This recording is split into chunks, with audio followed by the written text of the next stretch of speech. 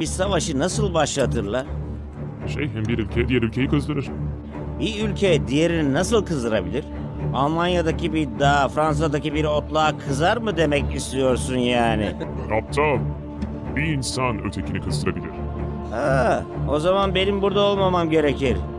Buna gücenmem de. Savaş senin gibi serserilerin fikrini sormaz. Güzel. Öyleyse hemen eve gidebilirim. Ha, sadece denediğinle kalırsın. Evet vurulmak mı istiyorsun? İmparator ve ben.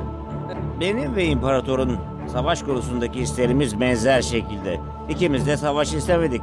Bu yüzden ben eve gidiyorum. Ama o zaten evde. Biri savaş istemiş olmalı. Birilerinin bazı menfaatleri olmalı. Benim ve imparatorun değil. Bence imparator savaş istemiş olabilir.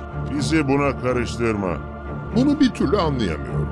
İmparator istediği her şeye sahip. Evet daha önce hiç savaşa girmemişti. Büyüyen her imparator şanını yayacak şekilde savaşa ihtiyaç duyar. Tarih bundan ibaret. Doğru. Generaller de savaşa ihtiyaç duyan fabrikatörler cepleri doluyor değil mi? Bana kalırsa bu bir çeşit ateş. Kimse onu bile bile istemez ve sonra birdenbire savaş başlar. Biz savaşı istemedik ve biz burada savaşıyoruz. Nasıl olması gerektiğini ben anlatayım. Büyük bir savaş yaklaştığında geniş bir alanın çevresini kapatırsın ve, satılır. ve büyük gün geldiğinde tüm kralları ve onların generallerini toplayıp onları giyinik orta yere bırakırsın adamlarıyla birlikte savaşmalarına izin verirsin. En iyi ülke kazanır.